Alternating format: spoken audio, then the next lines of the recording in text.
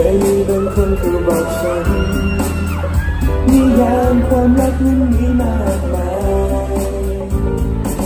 แต่ในตอนนั้นฉันเองก็ยังไม่เข้าใจ เพราะฉันนั้นยังไม่ได้พบเธอ